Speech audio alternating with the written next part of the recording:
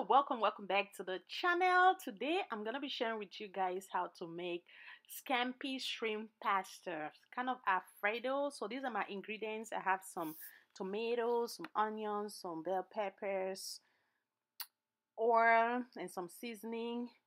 Have some green onion and I have the main scampi shrimp. And I'm gonna be coloring this food with some baby spinach so first things first, I have a pot on the stove. I'm going to put some water, get it to a boil, and I'm going to add the pasta. You guys will see all that. I'm not going to talk much on this video, but you will see everything will be self-explanatory. Thank you all so much for watching.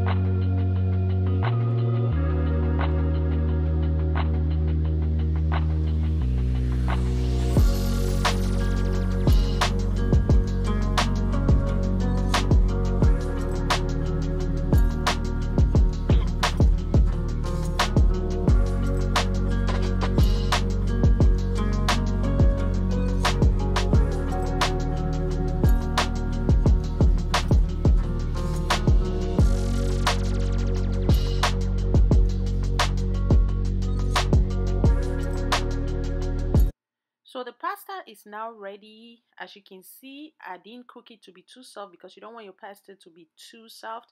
And I brought it to the sink to pour some cold water to avoid some stickiness. So I'm just to rinse the pot because we're to be using that same pot to prepare the, the pasta. So I'm just adding some cold water on it. Like again, again, like I said, to avoid stickiness.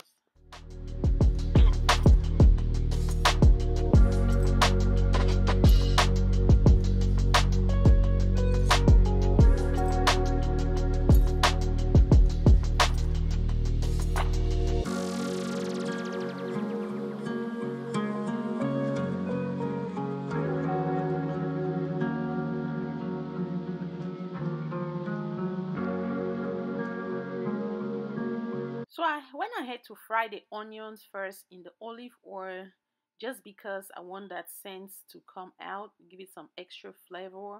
And I'm going to go ahead add some seasoning.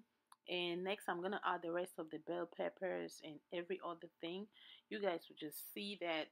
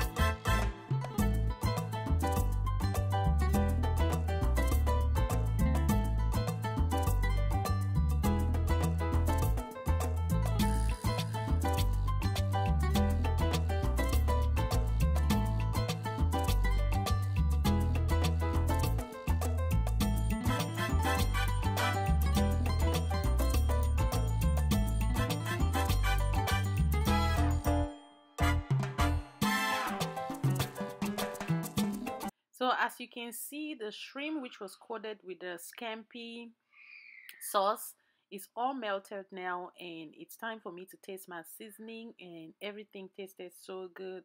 I didn't add any extra stuff.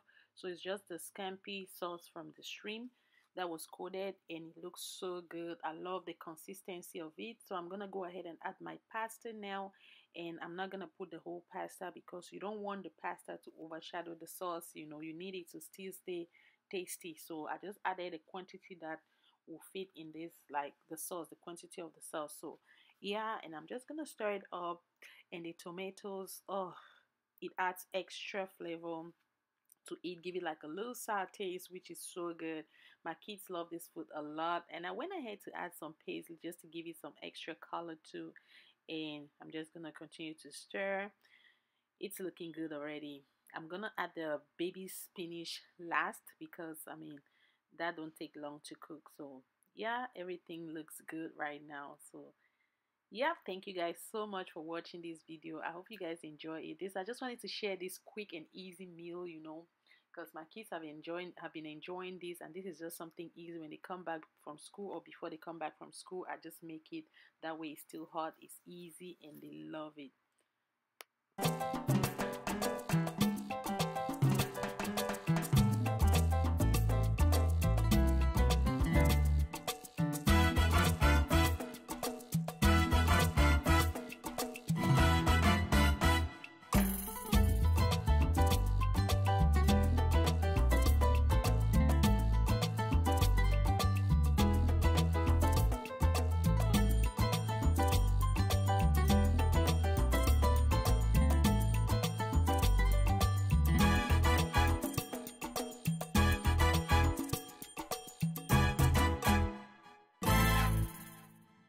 So at this point, everything is ready. I'm just to let it simmer for a few more seconds and I'm to serve a plate.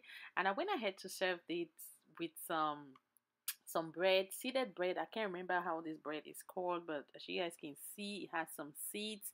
I love it so much. It went so well with the pasta and I picked up this bread from Walmart. I mean, any bread of your choice will do.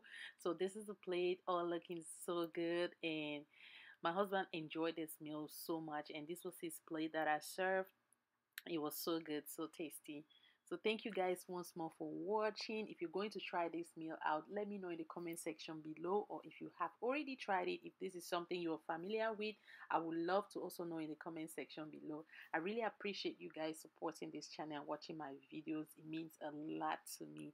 I love you guys so very much from the bottom of my heart. And once more, I'll see you guys in my next video. Adios. Stay tuned and remain blessed. Bye bye. Please subscribe to the channel if you haven't subscribed already. Turn that post notification bell so that each time I upload, you will be notified.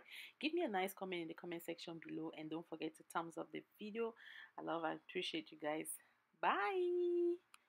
Tada. Au revoir. Adios.